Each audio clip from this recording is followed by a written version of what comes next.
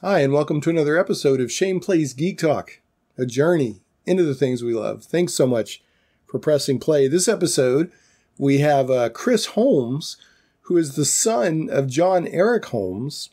John Eric Holmes uh, is known for several things, but the two things that we probably would know him best for as uh, fans of this show would be uh, he was the author slash editor of the first D&D basic set in 1977 and he also did a lot of fiction writing uh, probably would be characterized as pulp fiction writing uh, in the Edgar Rice Burroughs uh, playground and then also uh, in Buck Rogers. So but he's also a, a, neurologist and all kinds of other cool things. And Chris uh, keeps the, the torch alive for his father, championing his work and making sure that the legacy is known. Uh, and then also Chris does really cool stuff in his own right, including art and a very cool day job uh, that involves D and D that uh, we'll we'll talk about on this episode. Some other things uh, that uh, you'll hear today is uh, he's got a posthumous RPG project with his father coming out from Pacesetter Games called Things Better Left Alone. Um, you'll definitely hear more about that. Uh, we also get into how much did John Eric Holmes make for creating the first D&D Basic Edition. I think you'll be surprised by the answer. Uh, Chris and Shane, that would be me, have different approaches to playing with alignment in RPGs. Uh, what's Chris's favorite D&D edition? And that's a trick answer. Uh, also, we do talk about Edgar Rice Burroughs, and we talk about sending in the Pinkertons. That's a a uh, topic of interest in RPGs at the moment due to uh, something Wizards of the Coast did. We talk about Tarzan's superpower. Yes, Chris makes the case that Tarzan had one of the first superpowers. We also talk about were sharks, Ask Cthulhu, zombie movies, Rob Zombie, Dragula, and Sherlock Holmes, and much, much more. Uh, don't forget uh, the, our previous episode. We had returning friend of the show, uh, Neil Halford, uh, talks about the Betrayal at Krondor 30th anniversary, very well known, beloved fantasy uh, CRPG based on Raymond E. Feist's Krondor uh, books. Uh, and there's also a fan film challenge related to that. So make sure to check that out. All right. So without any further ado, let's get on with this episode. On with the show. Shall we play a game? Why, yes. I believe we shall. Oh, I got a live one here.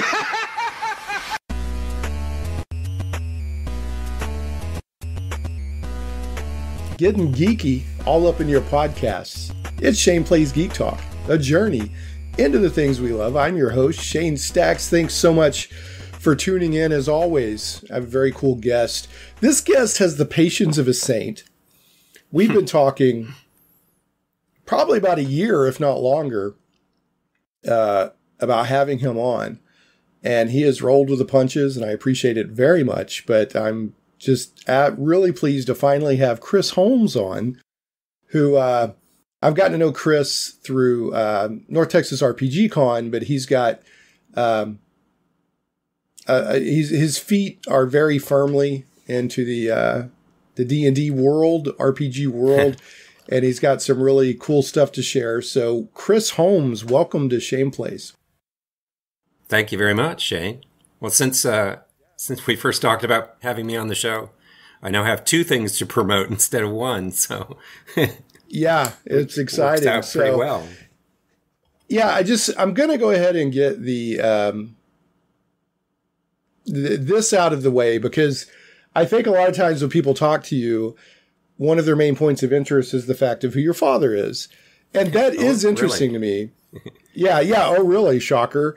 Uh, and that is interesting to me. But I think also you're doing some very interesting stuff in your own right. So I want to talk about that as well. But let's just go ahead and address, uh, educate the audience if they don't already know that uh, that your father is John Eric Holmes, uh, J. Eric Holmes. He, he went by different uh, names uh, who did the Holmes basic D and D set in 1977, but was also did a lot of fiction writing, uh, pulp writing, and that sort of thing.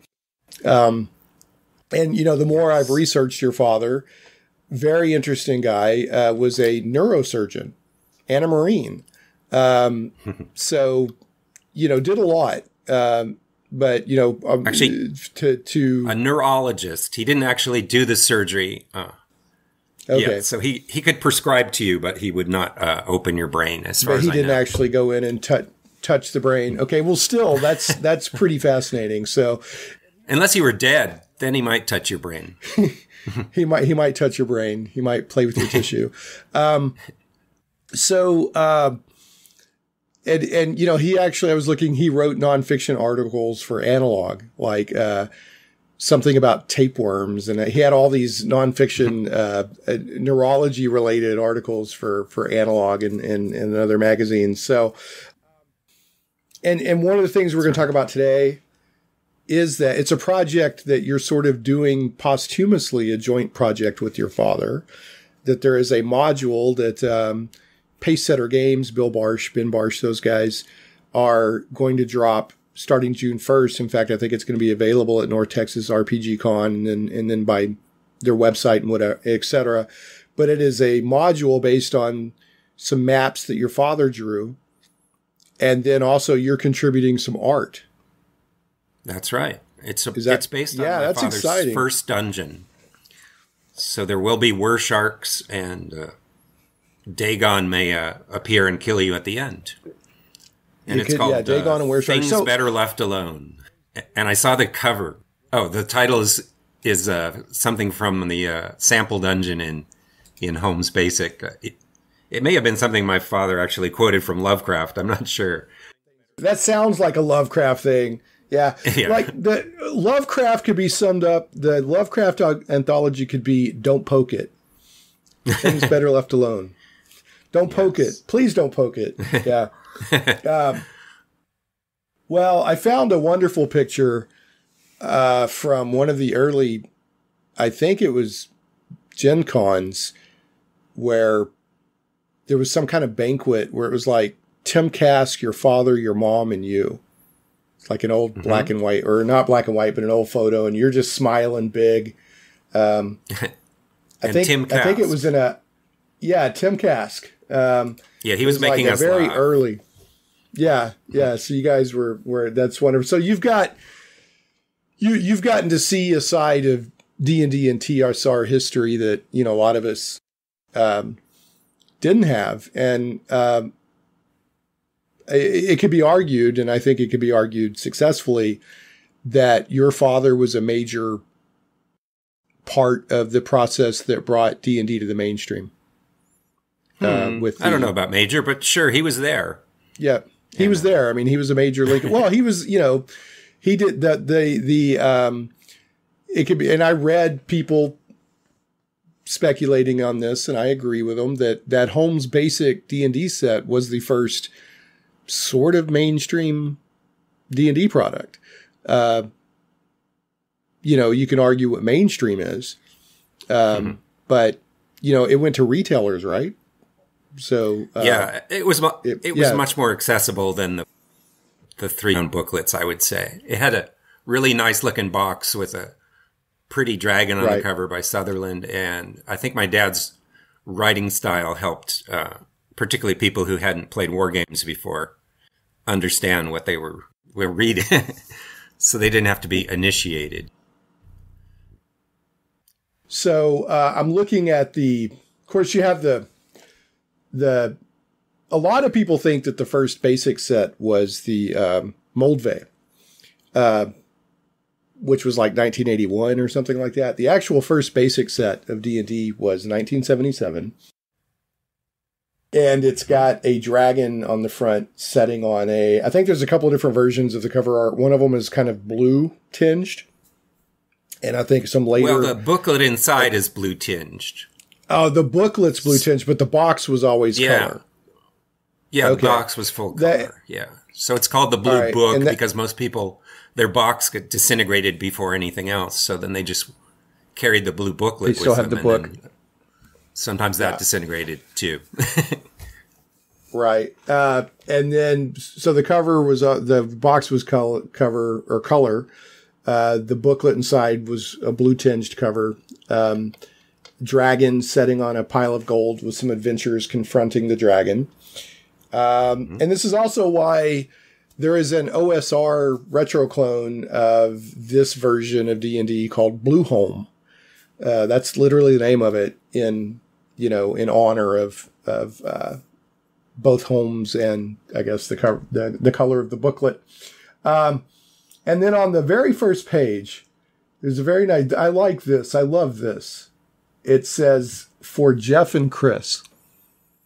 So we know who Chris is. Who is Jeff?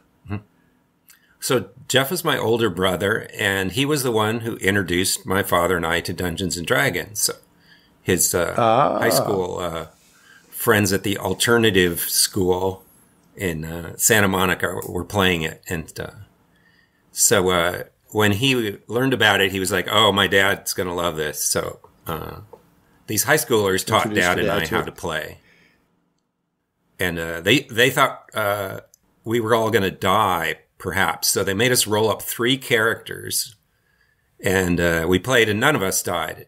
But I stuck with those three characters for years afterwards. the third one always died. He was like the drummer. Yeah, yeah, right. He was the drummer But for Boinger and Spinal Tap. Zereth, So, the, uh, the Hobbit and the uh, Elf, uh, survived and became uh, literary characters, actually. oh, so Boinger and Zereth were your characters. They were, yeah. So I'm a co creator as to some extent. All right.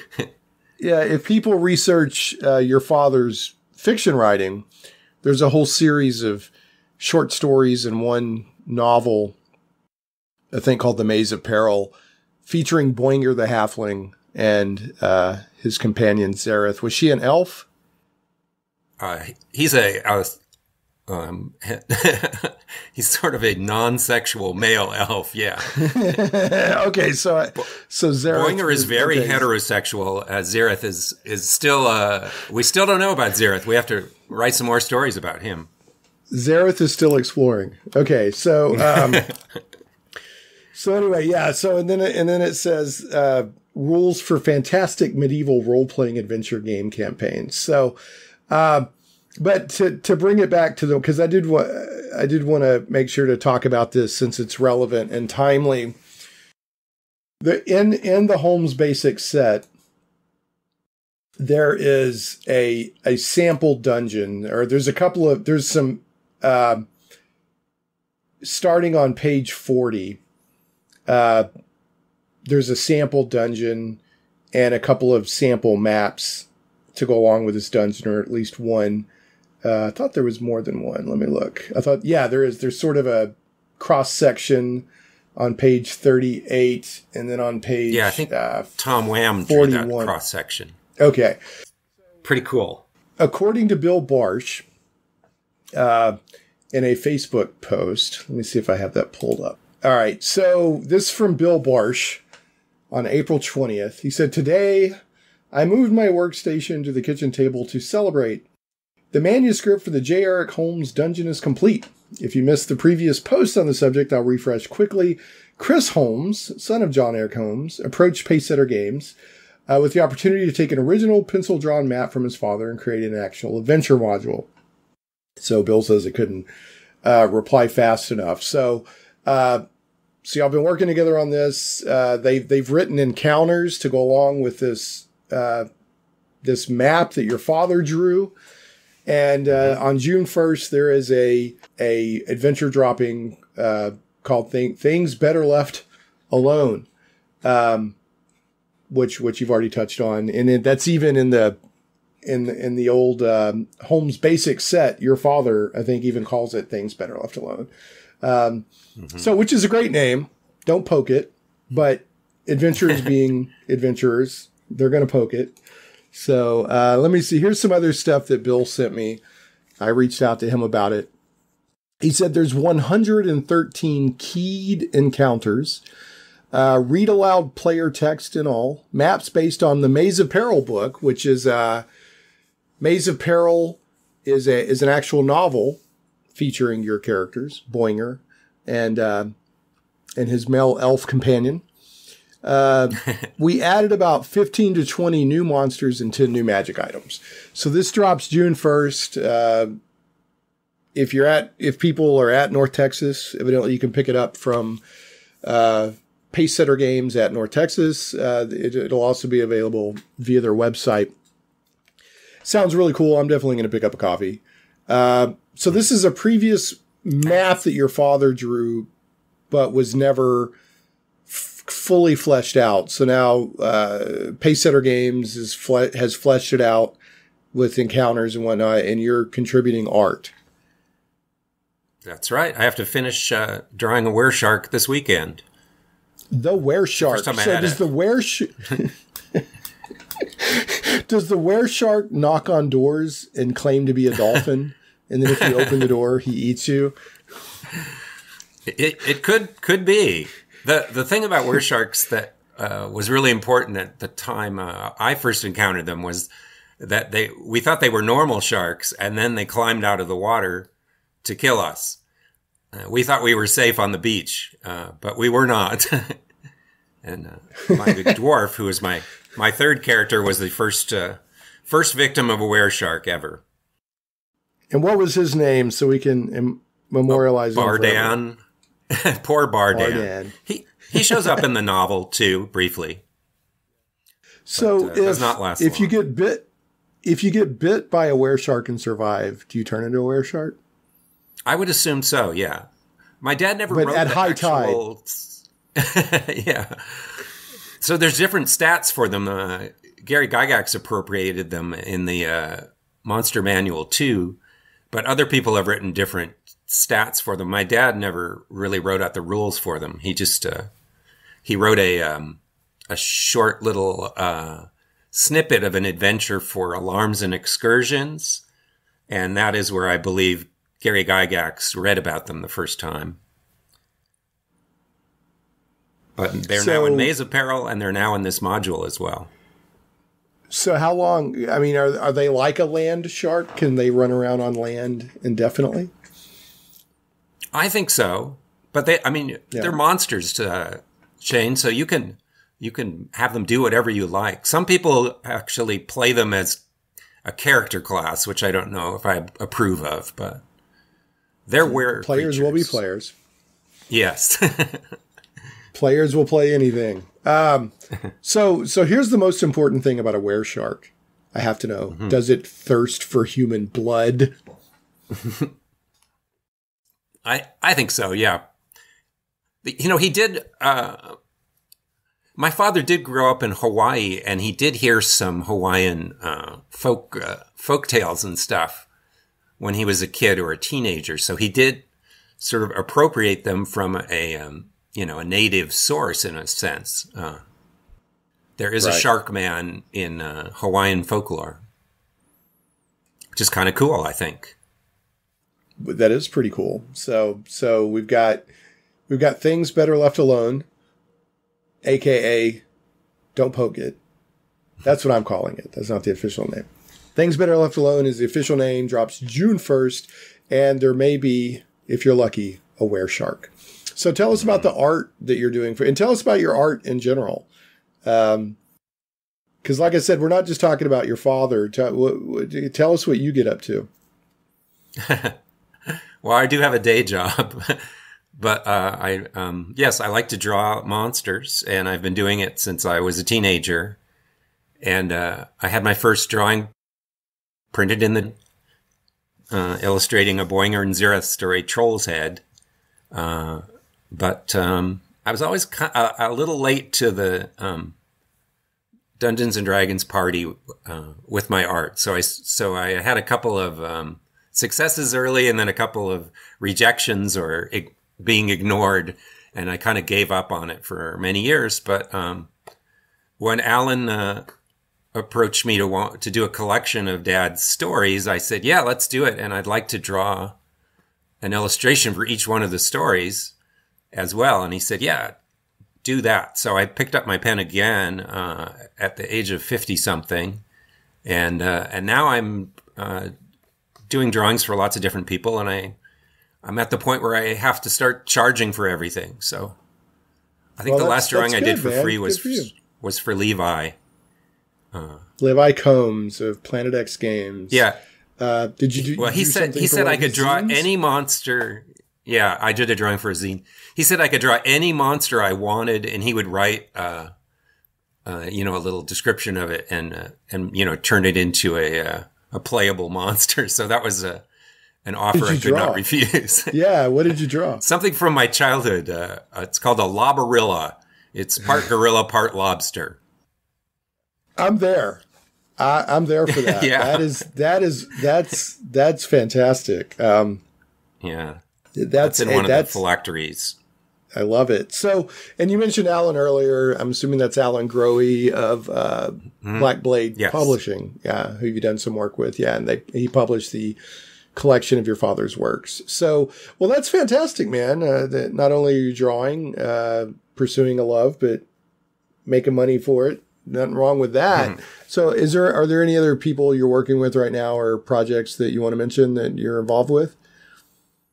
Well, the uh, the old news, I guess, now is um, that uh, my father's uh, Pellucidar novel, his sequel to Edgar Rice Burroughs' Pellucidar series, Mahars of Pellucidar, has been re-released by Edgar Rice Burroughs Incorporated, and they've also released Red Axe of Pellucidar, which was never printed before officially, in uh, lovely editions with a a little drawing by Chris Holmes on inside.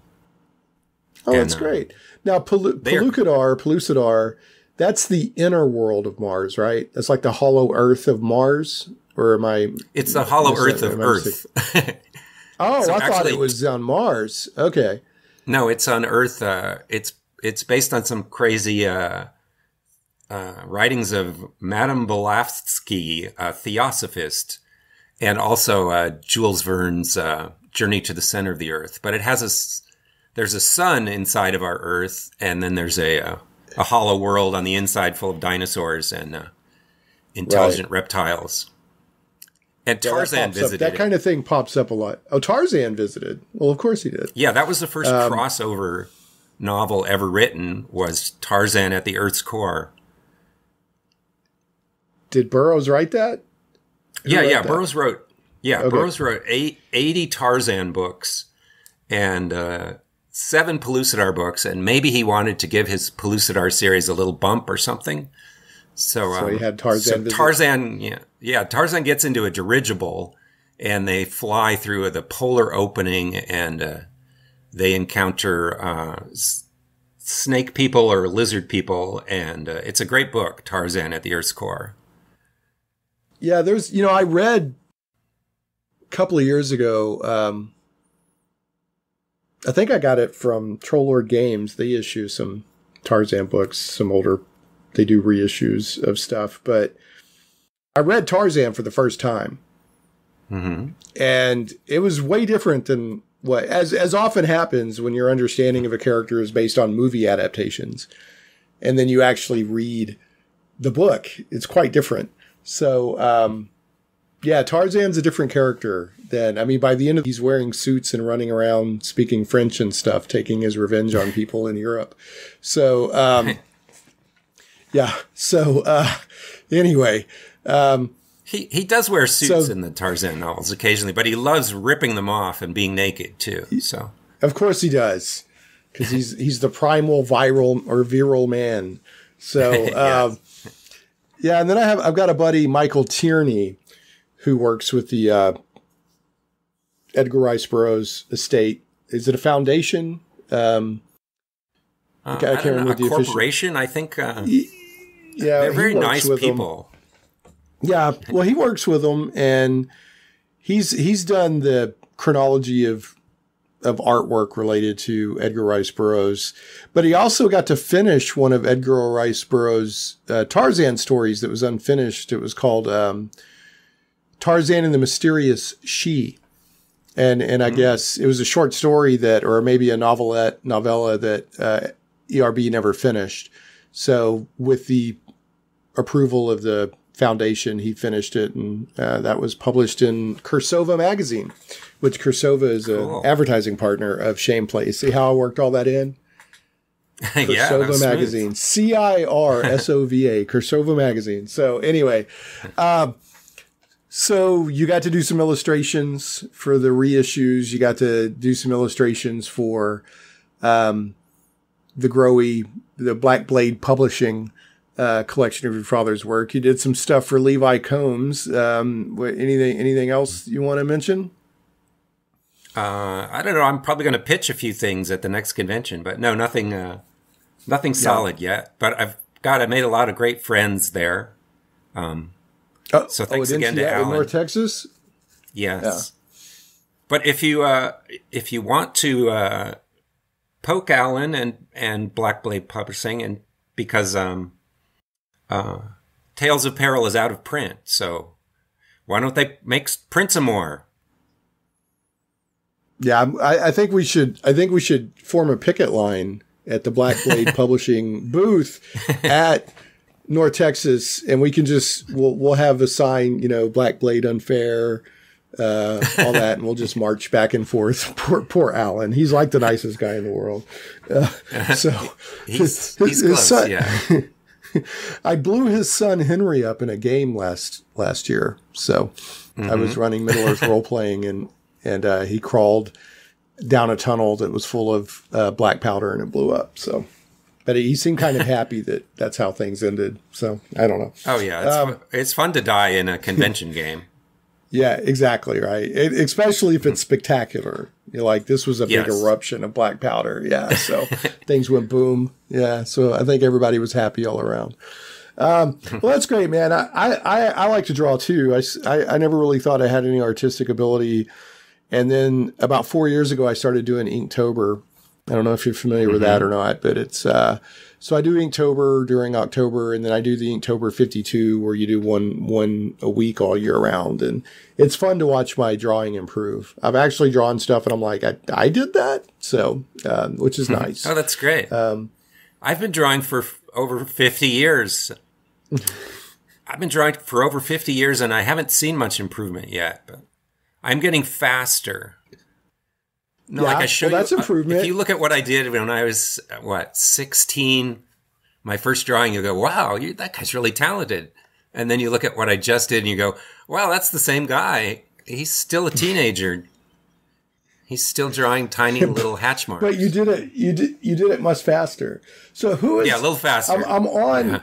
All right. So you have a website, holmeswest.com. oh, I'll yeah, I do. the show notes. Yeah, and there's you have some art up on your website. Uh, who is who is it? Snoggy the snail? Snoggy, Shoggy, Snoggy snail? I don't think we need to promote that. I was out of town and my wife just started taking pictures of my art sort of randomly. So, yes. Snog- sure, let's call him Snoggy the Snail. Yeah, uh, I love that you have uh, you have artwork of kaiju. You've got like Hedorah versus Gamera versus Mothra. That's cool. Yeah, that was a, a painting I did for my wife. Oh, is she a kaiju fan? Yeah, she's a Mothra fan. Yeah. Yeah, Mothra. I'm a, I'm a big kaiju, and I like Mothra too. Every time Mothra shows up on screen, I have to sing the Mothra song. You've got Yeah, an do. interesting range of art because some of your stuff is like OSR kind of gritty, you know, Mm-hmm. old school sort of, but then some of it is like almost uh, cartoony and whimsical. So you've got Well, a you've got a you. Mm-hmm. pretty wide range. Yeah, you've got uh, you got a very wide range here. So, um, and it looks like do you do some sculpting? It looks like maybe you did some stuff with clay or uh, uh, I see Yeah, I see a I, picture um, of some stuff here on it. Yeah. Well, I got from uh, actually from Dungeons and Dragons, I got into theater, and from theater, I got into mask making, and from mask making, I got into puppet making briefly, and then I got into painting theater, and then I got into designing scenery for theater.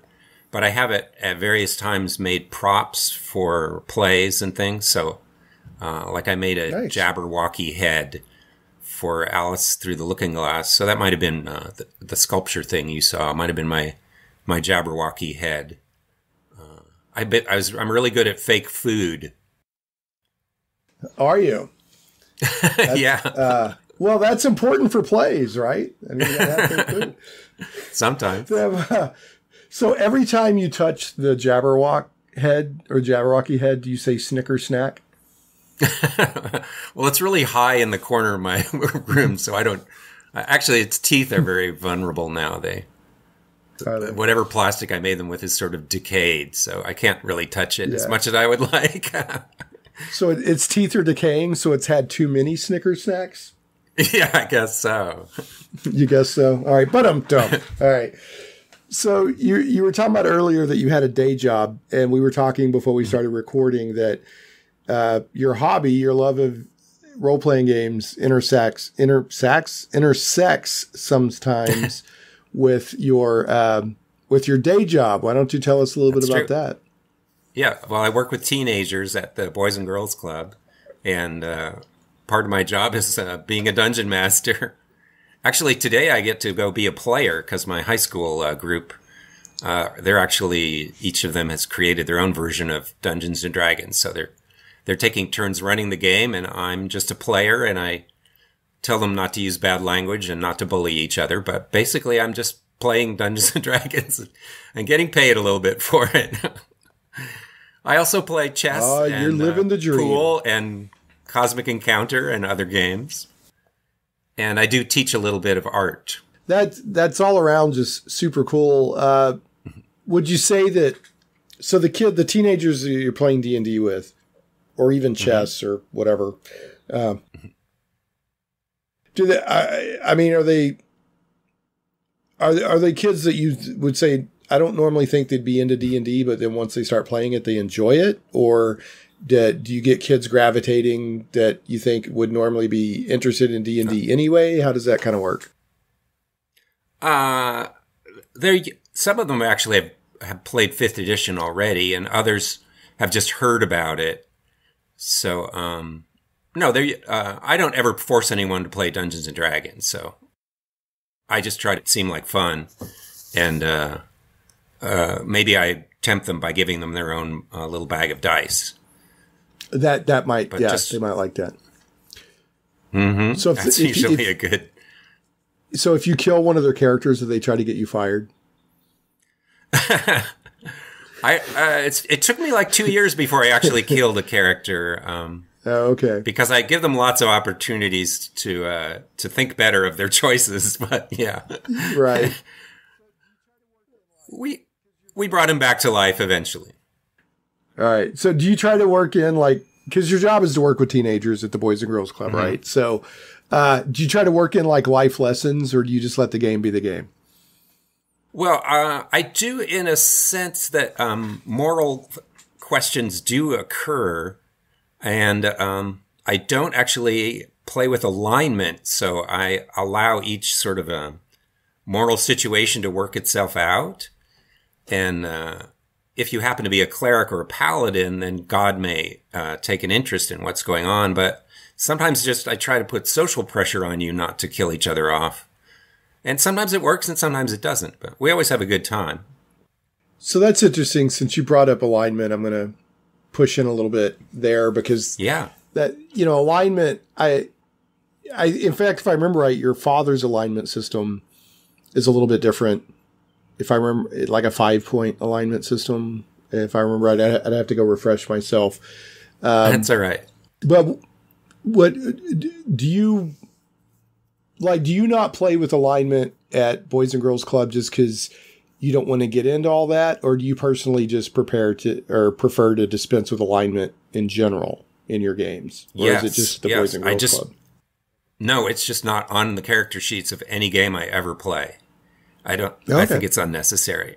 But I mean if you were if you are a cleric or if you're a samurai or whatever, you have a code and you should follow it. Yeah, But the rest of us, we have to just sort of fumble along.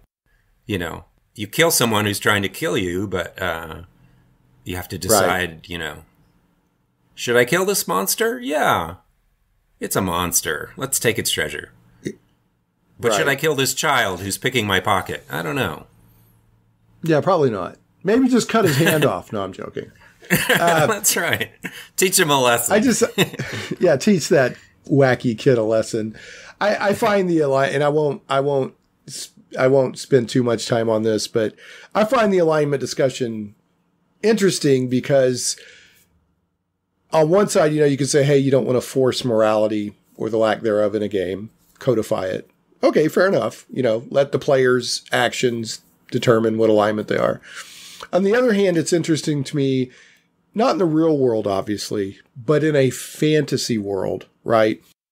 That could have a completely different origin, uh, creation, whatever, than the real world. That the idea of good and evil and neutrality even could actually be part of the cosmological forces that underlie the entire foundation of reality. So I don't I don't mm. I don't necessarily have a problem with alignment in a game like, you know, cuz you could literally have a fantasy universe where good and evil are forces like gravity, right? Um, mm. They're just baked in. Uh, but I also have no problem with people dispensing with alignment. Um, and saying yeah, it's, it's just not sort of how you feel about gods in your in your uh, right universe too. Whether they're are they fighting each other? Uh, you know, are they trying right. to uh, win over converts or whatever?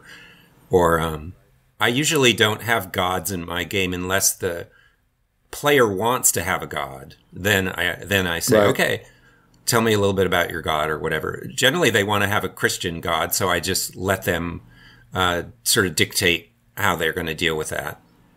And uh, so let me let me drill in on that. When you say a Christian God, like they want their God in the game to actually be like God, like Jehovah, or well, they don't talk about it, but they're like they just and you know they they say, "Can I ask God for ad- advice?" Okay, like, so they just say God. Okay, all right. Yeah. So they're not they're not necessary. They're just saying God in the general sense of how modern Western society would say God. I guess that's interesting.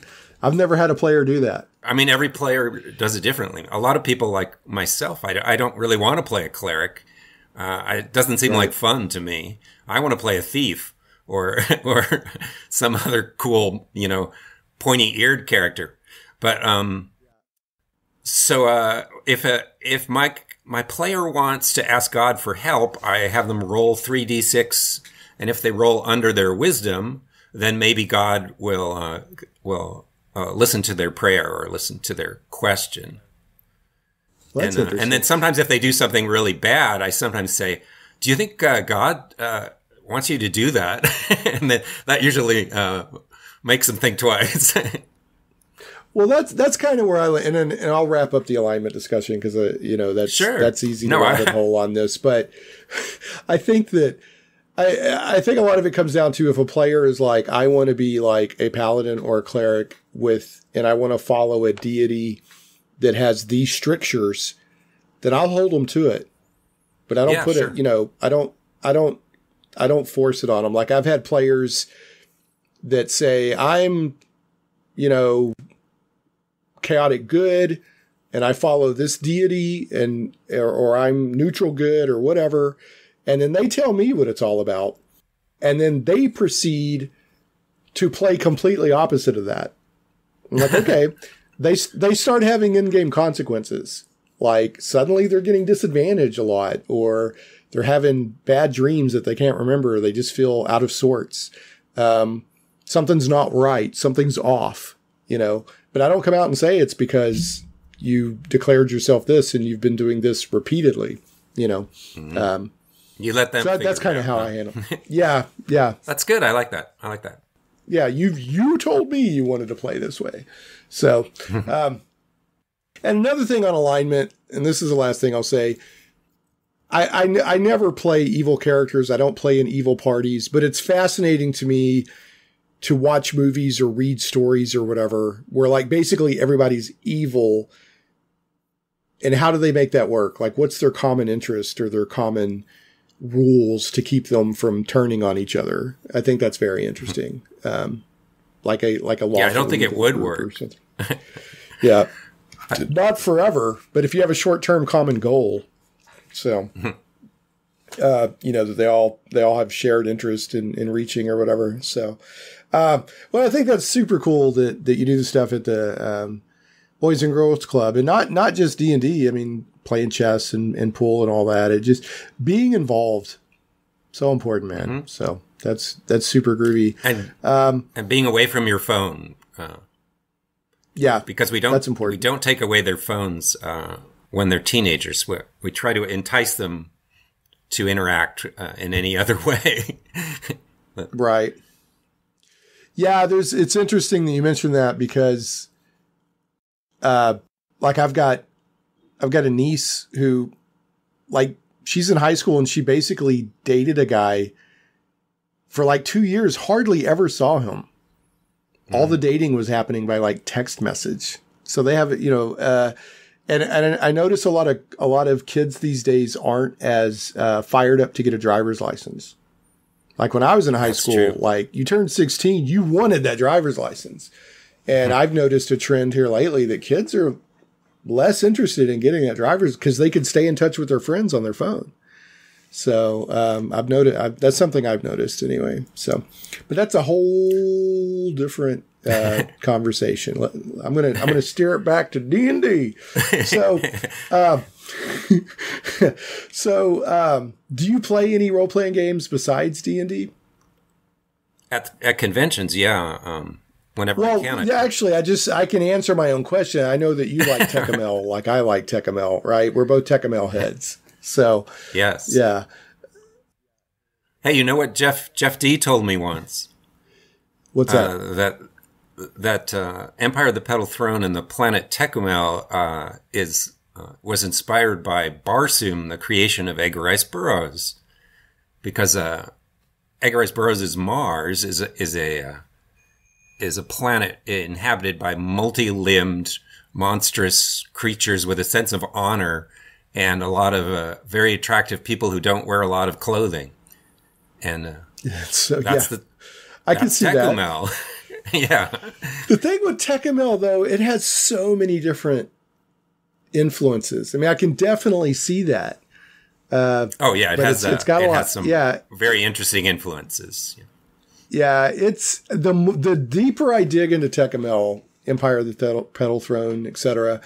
Um, uh, it's just it's just fascinating to me. You know, I play the games. I've read a couple of the books. Uh, reading, it's just rich, and uh, you know, I've, I've brought this point up with Victor Raymond and who's who's uh, on the Tekumel Foundation and a couple other people.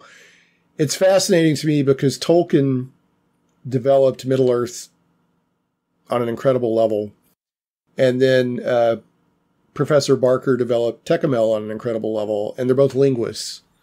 So it always makes me wonder, you know, is there something about studying linguistics that leads to a, a, a style of thinking that leads to incredibly rich world building? But uh, hopefully, I know I'm in a game with Victor at North Texas, so I hope we're in the same one. There's nothing I love more than to be creeped out and or uh, die horribly in a in a Victor Raymond game of Tekumel. So I I survived actually mine.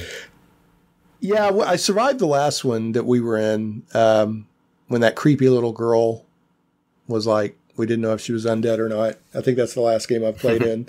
Um, no, no, I think did I? See, I know I know the compound got like attacked at the end, but any, but anyway, I digress.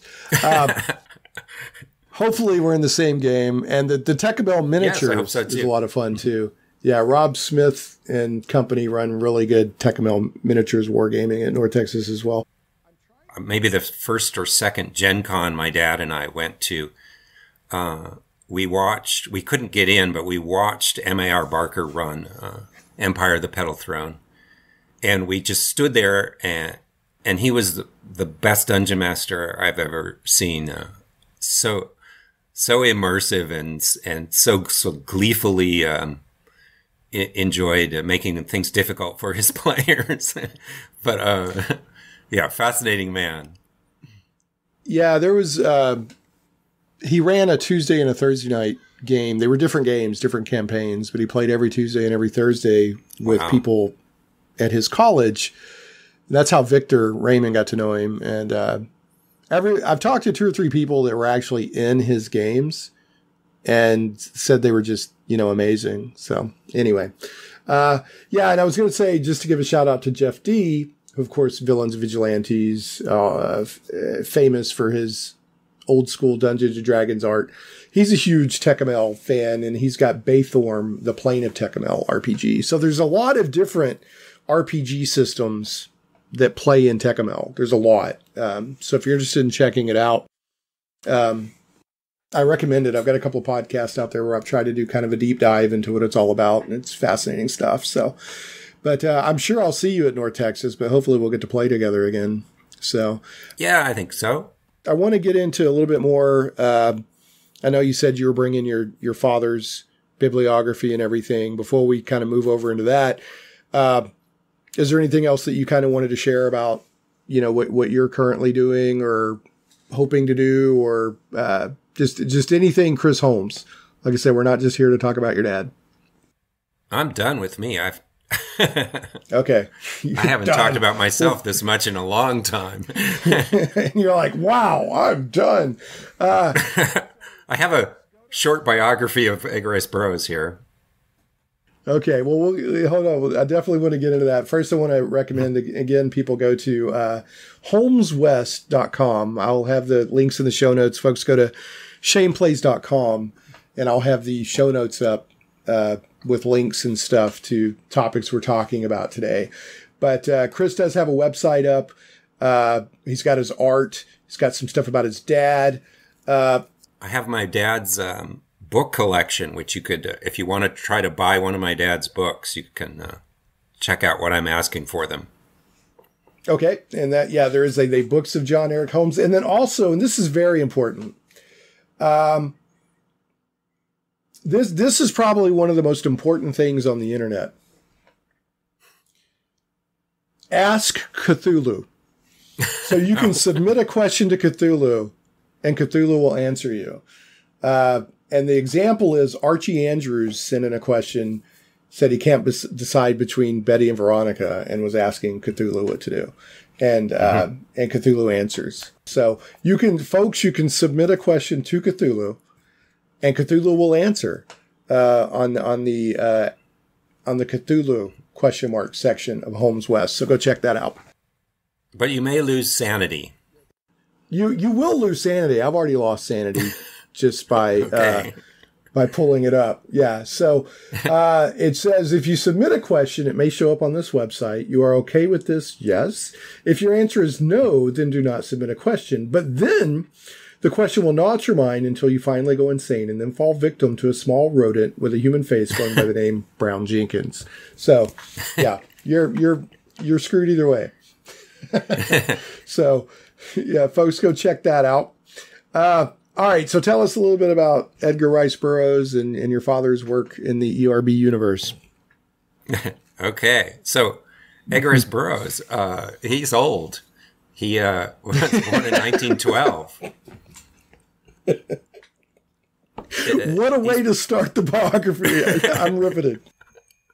He's probably uh, in his lifetime. He's probably the most successful writer uh, in it uh, on Earth during his lifetime, and certainly the most prolific.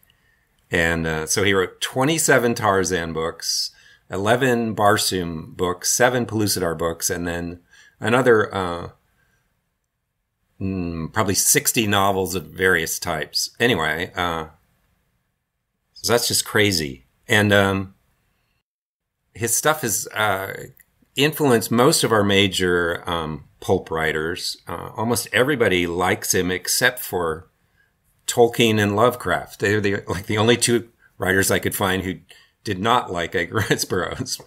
But Interesting. um, Fritz Leiber and uh, Philip Jose Farmer liked him so much that they wrote uh, prequels or sequels uh, to Tarzan's, uh, well, what's it called? Opar series, which is a, uh, a lost world where people ride around on triceratopses, I think.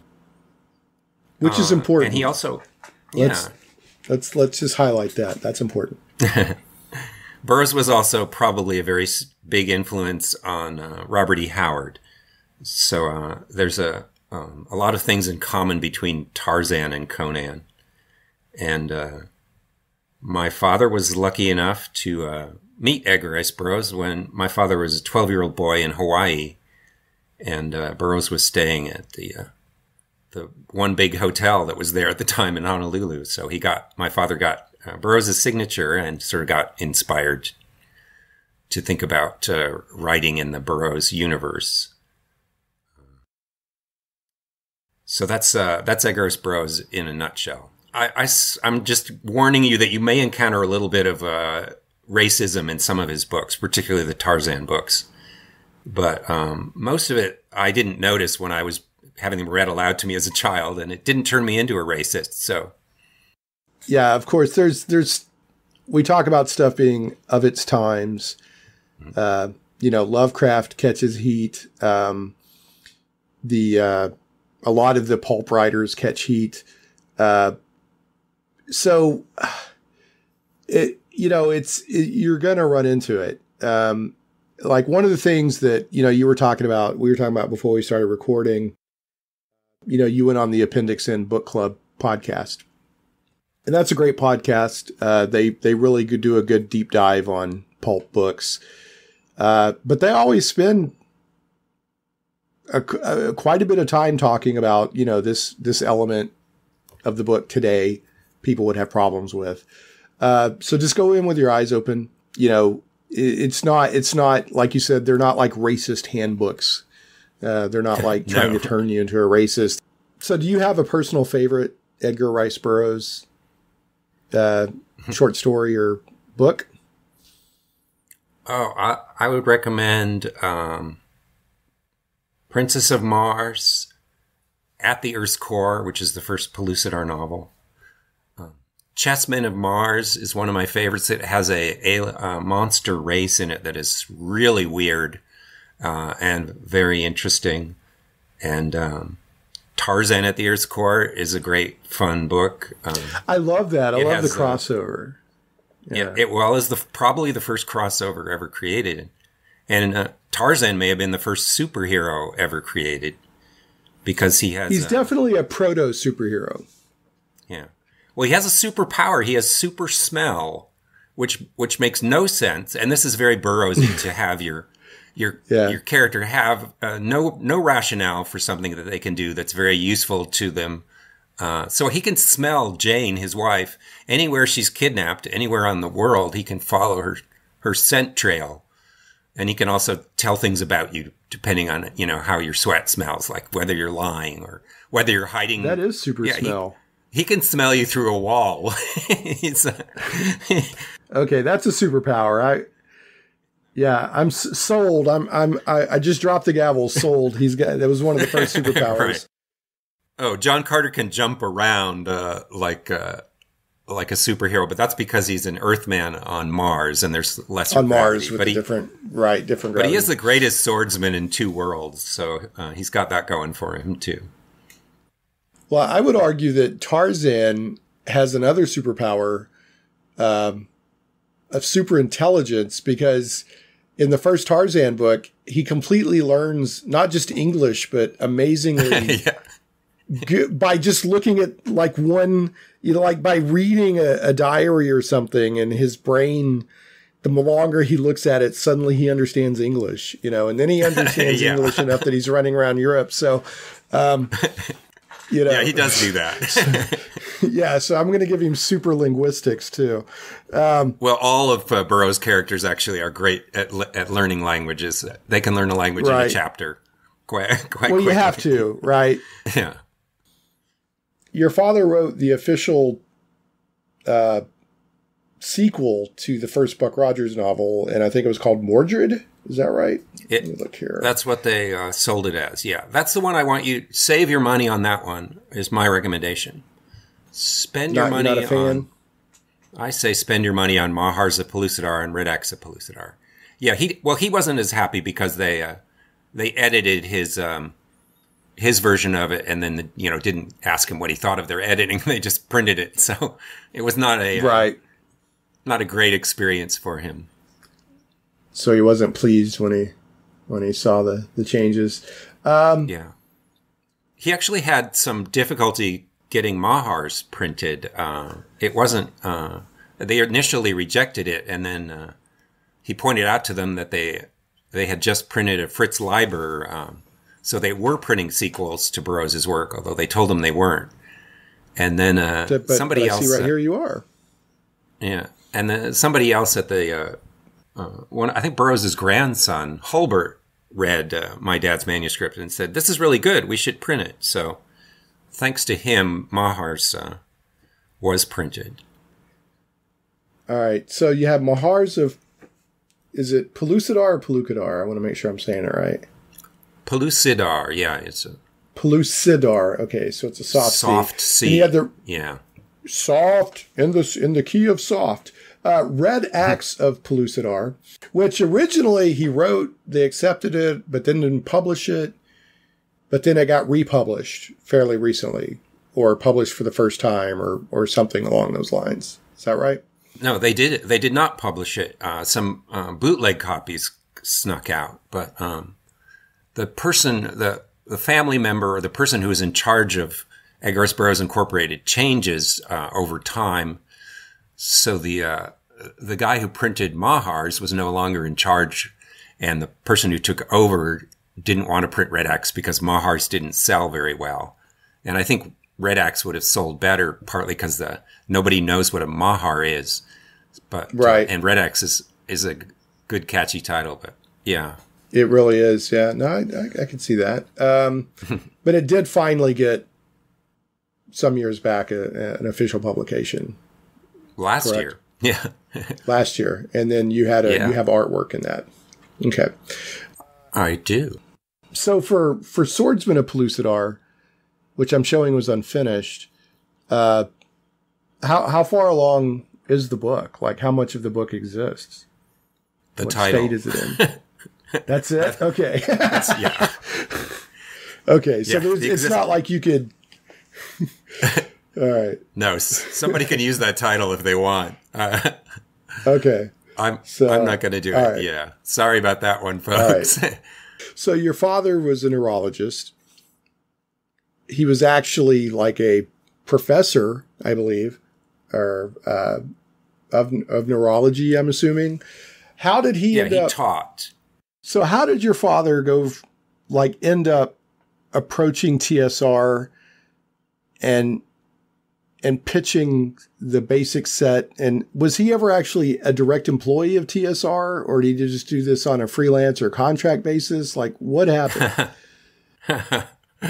Uh, well, he he wrote them a letter because uh, when we learned how to play Dungeons and Dragons, uh, he felt like he didn't quite get a very good introduction, so he bought all the books and tried to figure it out on his own. And he still felt that it was really difficult and that somebody should write a beginner's guide to Dungeons and Dragons. So uh, that was he. He wrote them a letter and said, you know, would you? Uh, I'm a, a professor and I'm a pulp science fiction writer. Would you consider uh, letting me write a beginner's guide? And they, uh, I think they called him back. And, anyway, they said, yeah, we were thinking about something like that. Uh, we, uh, you can do that uh, for us, but we can't pay you. We don't have any money, but we'll um, we'll give you free, we'll give you free games. So will you do it for nothing? And uh, uh, and he said, sure. it's it's it's not funny. It's just the way you're presenting it is great. You're like, yeah, Okay. sure. pretty much. Well, he uh, he did have a day job, luckily, and my dad was kind of a rich kid, so he wasn't really used to asking for money. So, uh, Right. yeah, no, he he made no money, and he was not an employee. He was honored at uh, a dinner, but um, and he did get free games, but that's it. So so he got free game like free games, not just free copies of his own basic set, but like free games from TSR in general. Yeah, we got uh, you know awful green things from outer space, and we got Marvel superheroes, and it was cool. that is cool. But um, so he, he could have so got a million they- dollars, but he didn't. yeah, I mean, after it became a somewhat successful product, um, you think that maybe something could have been worked out. But anyway, I, I, I from what it sounds like to me, is your dad did it because he wanted to. hmm Yeah, kind of a Yeah. love of the game, the product. So, um, and now I mean he's you know he's held in high regard among Yeah. you know enthusiasts and historians. You can't buy that's hard to buy. You know what I mean? To earn your Oh yeah, place it's, pa- in it certainly history. paid off for me. But it, yeah, I Yeah, I think he enjoyed uh, he enjoyed the little bit of notoriety it got him. Yeah. Right. Um, so did, do you remember? Because I, I do not. I remember BX when I was a little too young when the basic 77 basic set dropped to really remember it. Uh, of course, I you know I know about it in retrospect. What do you remember? What kind of impact it had for players or in the hobby? What kind of feedback he was getting? Uh, I had no idea actually because they didn't tell us anything, and we, uh, you know, we went to the convention, and uh, it was kind of hard to tell. You know, I mean, they were for sale, um, and my dad did say that they sold a lot of copies, but um, they had no reason to tell him how many copies they were selling. so uh, Yeah, and they were sort of incentivized not to, if you think about it. Yeah. Um, so uh, now this was also the edition, um, or the box set that for a time, and I, I think the the general urban myth or consensus or whatever is it was because of a dice shortage. I've never verified that personally, but for a time, this box set didn't have dice in it. It came with little chits yeah, to ran to ran uh, your randomizer weren't dice they were little square pieces of cardboard with numbers on them basically so do you do you have any insight onto why that was? No, I mean I've heard I've heard the story obviously, but Yeah. uh, the, the people who got the chits definitely uh, got got a raw deal there, since um, poly- polyhedra were rare apparently, um, and you had to make your own you had to make your own twenty sider by coloring every other um, face Right. red or something, or writing. With, well, my dad wrote with a little tiny rapidograph pen, a one next to every other digit to make it a tens column. right yeah they uh, the 20 siders of the time i think had 0 to 9 repeated twice Yeah, that's right. Um, yeah. Another way to do it is uh, I, I found in recent years one of the ways that people did it was they would roll like the 20 sider and a six sider at the same time. And then if the six sider came up odd, then I think it was a tens. And if it, or a, a ones, and if it came up even, then it was in the tens or whatever. So that was another way people had of doing it. But yeah, like some games would come with a little wax pencil or you know A like a crayon, crayon yeah. or something yeah to, to color in stuff so yeah um so do you personally uh have a favorite edition of of dungeons and dragons to to just throw the Hmm. spotlight on you since your dad wrote one of them i'm just going to put you under the gun what's your what's your favorite chris i'm sure your dad's listening Well, they all have big problems. I, I can criticize them all. I've never gotten that answer. No, I got to back up. That was beautiful because people are always like, well, they all have strong points, but you're like, no, they've all got problems. It's true, though, isn't it? I don't know. That's, maybe that's my personality. Which one do you think has the least amount of problems? I don't. Well, I don't own any of them, so I can't really tell you. I have the advanced Dungeons and Dragons books, and I have my dad's blue book, but I don't own Moldvay Cook or um, or Mentzer, so I can't really say. My dad wrote a review Yeah. of uh, Moldvay Cook, uh, and uh, it was a very positive review. I think Yeah. variable dice damage is something I really enjoy. Uh, I like uh, arrows being uh, one to four, and I like you know um, some some weapons doing one d eight damage. I, I I enjoy that for some reason. It just feels right to me.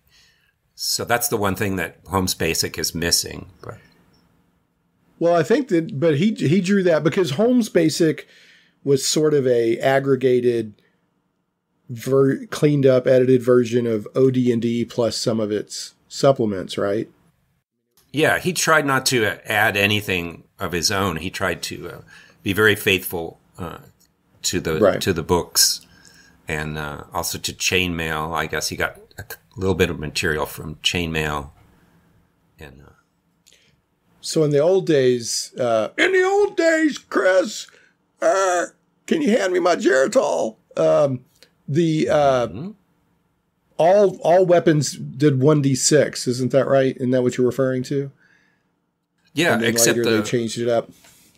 Yeah, I, we never played that way though, uh, because the we had a weird uh, Caltech version of the rules that that uh, we were taught. So we just uh, kept critical hits and we kept variable dice damage, and, and then uh, added the the uh, basic uh, D twenty uh, combat system. Okay. Um, all right. So yeah, even I mean, even at the very and this is a debate that goes on all the time, but even at the very beginning, before Holmes Basic was even written, um, everybody had their own house rules. Caltech had house rules. I had house. They had house. Everybody had a house rule, um, and and and different different ways of doing it. So, uh, so when you go to the Boys and Girls Club, are you running fifth edition? What are you running there? Oh God, no, no! It's too it's too much work. okay, here's my metaphor for fifth edition. When I was a tourist and I go to another country, they'd have these restaurants that were tourist friendly. And so they'd have French food, English food, American food, Japanese food, Chinese food. They'd have all the stuff on your menu and your menu would be just telephone book size. And then, uh, so you'd waste all this time making all these choices. And then the, and then the end, you'd be confused and you wouldn't remember, you know, it was just, it wasn't worth it. And that's fifth edition. It's just too many choices and they're, and they're not worth the trouble. So what are you running then? Are you just running your own version of like an old basic? So for the, uh, yeah, so for the, for the, uh, middle school kids who are first playing, I run Chris Holmes's weird version of Holmes Basic. And for the, uh, high school kids, I run Chris Holmes' weird version of Advanced Dungeons and Dragons. And but occasionally a kid will come along and say, "I want to run fifth edition." And I'll go, "Okay, I can't stop you. Um, I'm supposed to support you." so, uh, so I put up with it.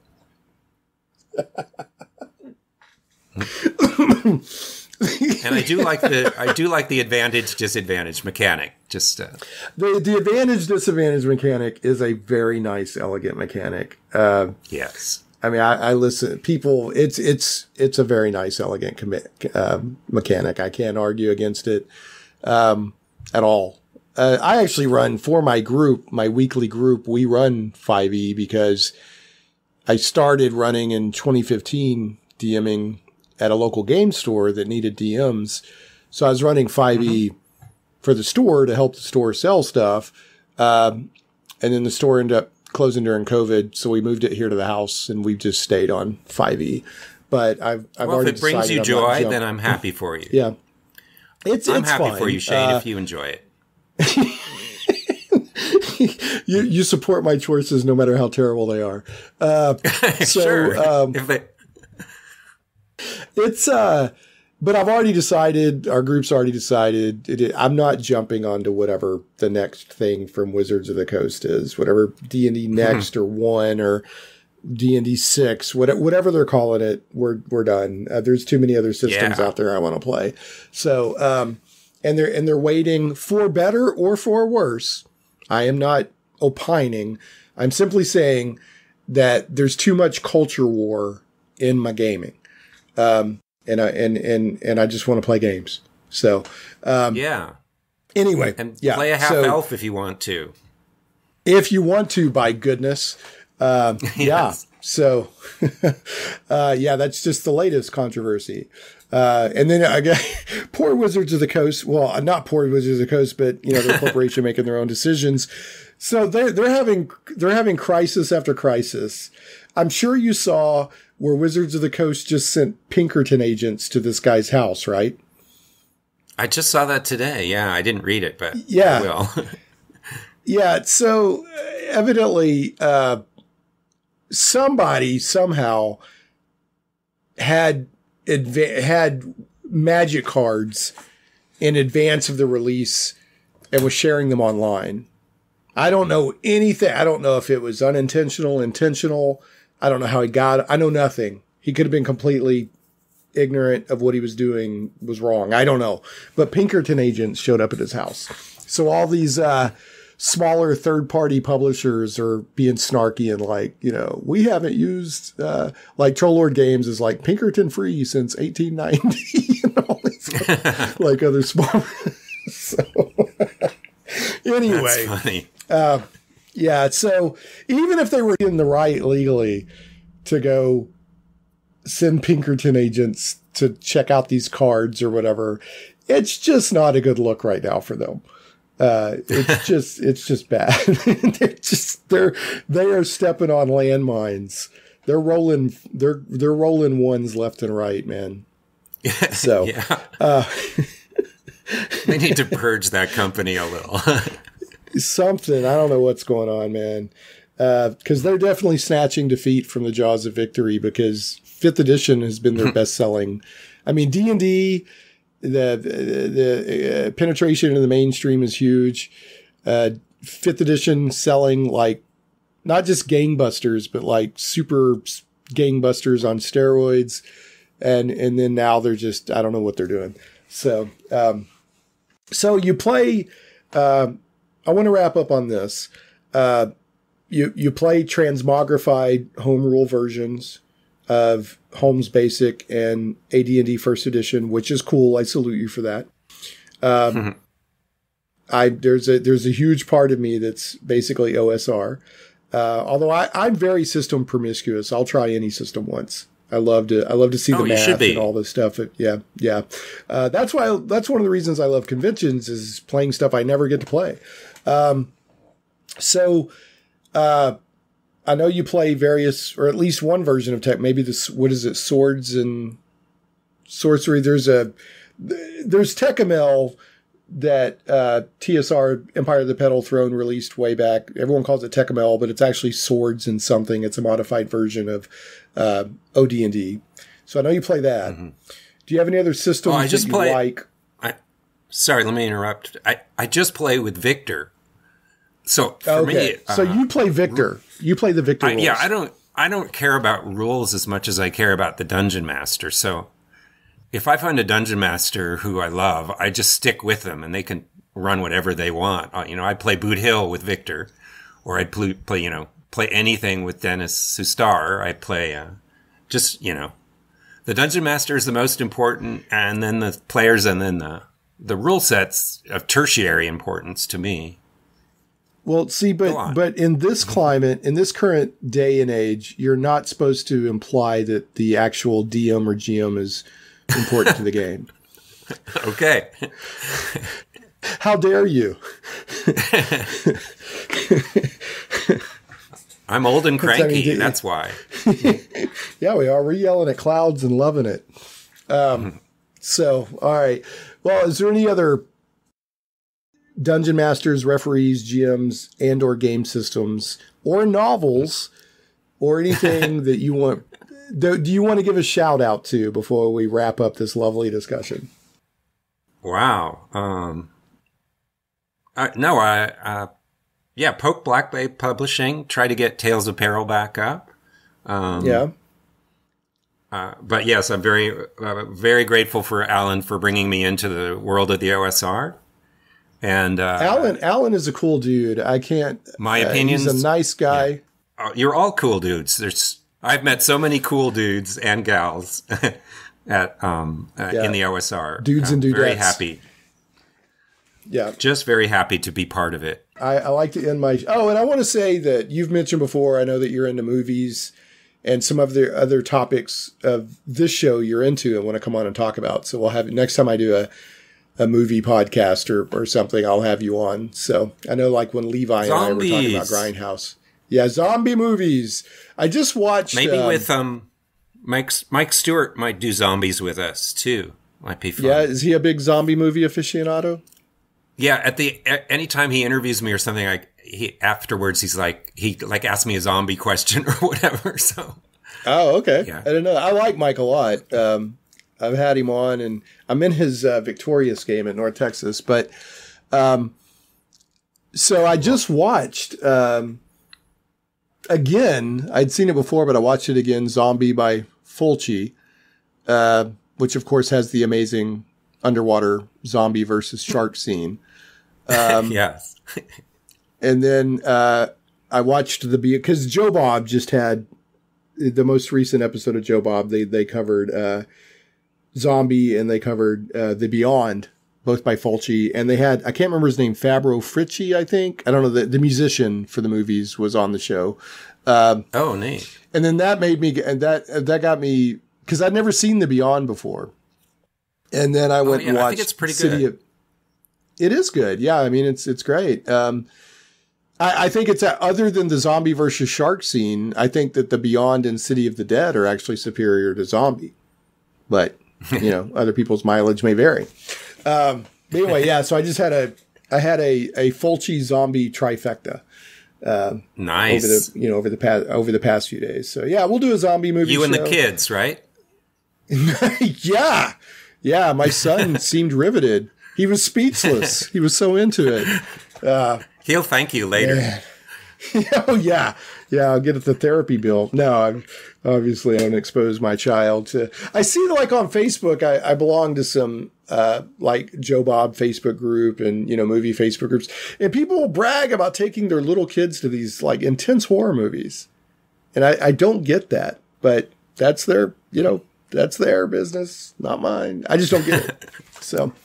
Like, I introduced my Yeah. four year old to, you know, uh, what, you know, whatever. I'm like, what the, what are you even House doing? of a Thousand Corpses. Yeah. Yeah, you know, he loved it. Yeah, kids like petrified. So, anyway, um, and I, since you mentioned House of a Thousand Corpses, I'm going to go out. I'm just going to say publicly, I do not dislike Rob Zombie's movies. There, there's this huge hate for Rob Zombie's I movies do. for some reason. So let's fight.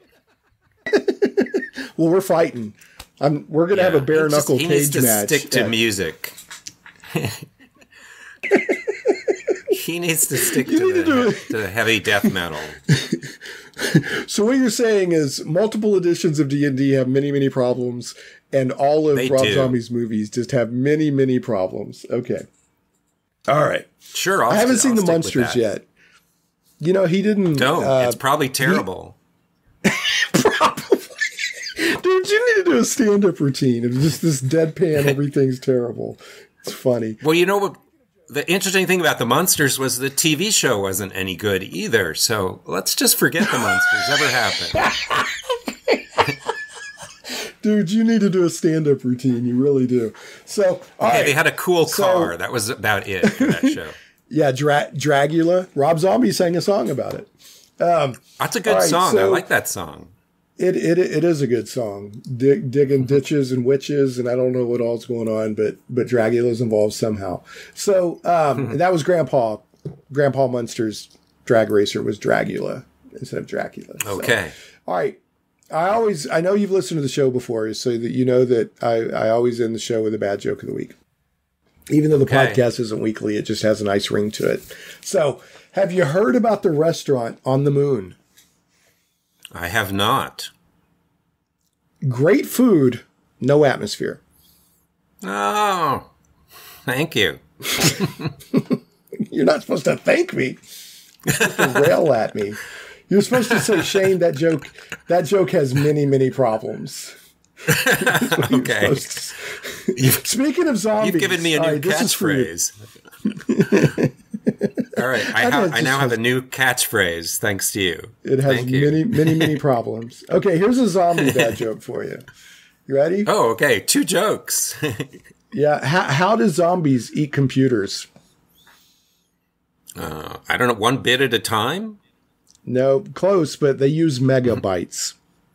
Oh, okay. I like the moon one better. uh, yeah, you like the moon better. All right. Well, I mean, but you're a big zombie person, so I was I was throwing zombies in there. Thanks for throwing zombies at me. No problem. It's one of my favorite things to do. Okay, so I'm going to wrap us up here, folks. Uh, great discussion with Chris Holmes. Uh, cool dude. Uh, saving saving the world one teenager at a time with D and D. Aw, Um, you too. Aw, yeah. Uh, well, I'm just saving the world with my super smell. But you you have a superpower where you play D and D with teenagers and, and middle schoolers. So uh, don't forget, um, you know, uh, Chris is out there doing his own thing with very cool art. So keep an eye out for that. Um, don't forget about his father's books. He has a pretty good bibliography going there. Go to Chris Holmes, or no, holmeswest.com. Go to holmeswest.com. Go to shaneplays.com. There'll be show notes. There's a list of books from John Eric Holmes' personal library that you could potentially purchase if you were so inclined. And don't forget about uh, Things Better Left Alone, or as I like to call it, Yes. Don't Poke It. Uh, the module c- dropping from Pacesetter Games June 1st. It'll be at um, North Texas RPG Con uh, or on the Pacesetter Games website. And that is a, uh, a module with 113 encounters based around a map that John Eric Holmes, John Eric's, John Eric Holmes drew.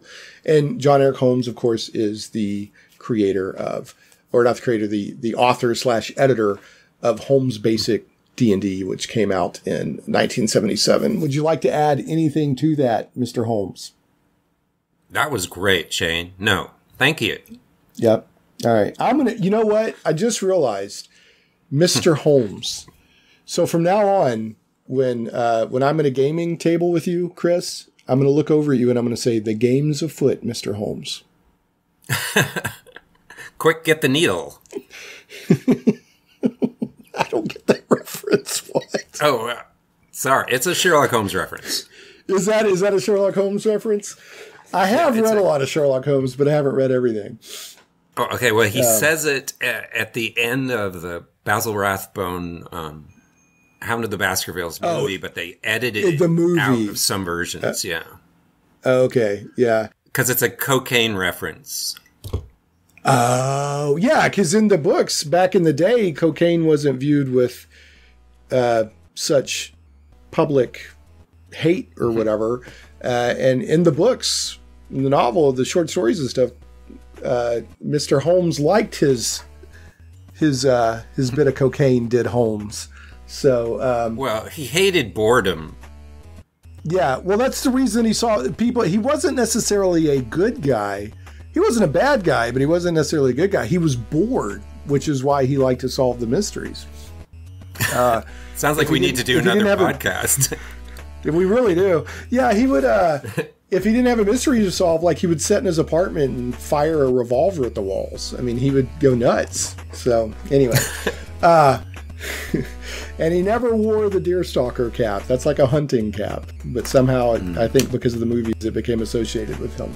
So anyway, all right, Chris, it's been great. Thanks so much for coming on. We will have you on again. We'll talk about zombies and, and other good stuff. And in the meantime, Yay. Um, good luck with all your various endeavors, and I look forward to seeing things better left alone and your art. yeah, me too. All right, man. Everybody else, we will catch you next time on Shane Plays.